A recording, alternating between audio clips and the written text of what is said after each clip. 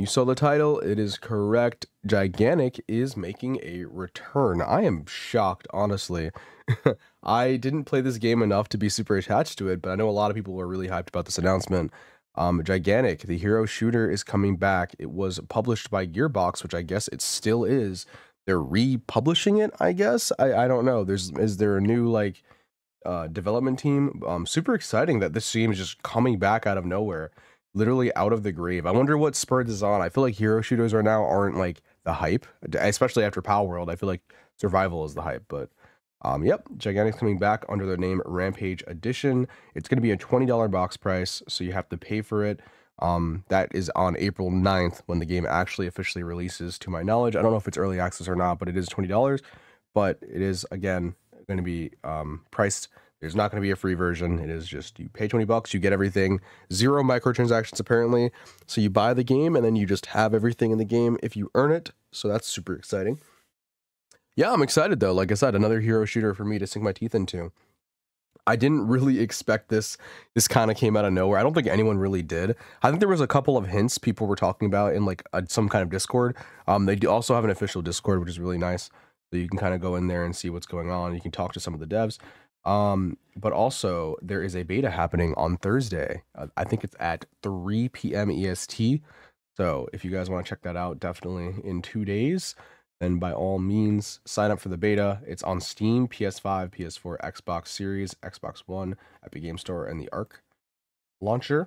Um, I'm excited for it. I want to go. I again, I have, I didn't like, I wasn't attached to this game, but I never really got to play it in its full function when I was younger, so I'm very excited. This game died, I think, in 2018.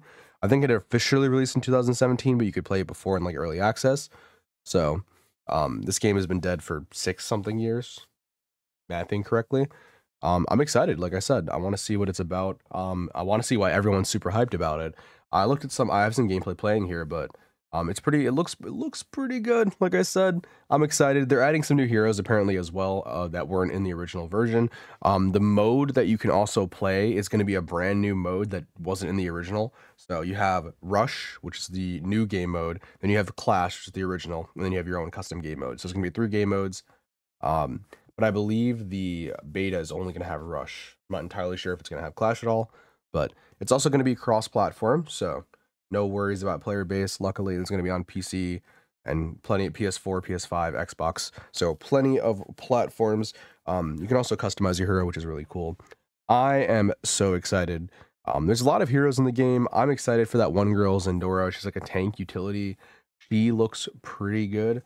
Again, I'm not really a fan of like the the monster esque design, but they have some creative characters here. So I don't really remember how any of them play. I'm going to look up videos and see kind of like what each character used to play like if they're not brand new.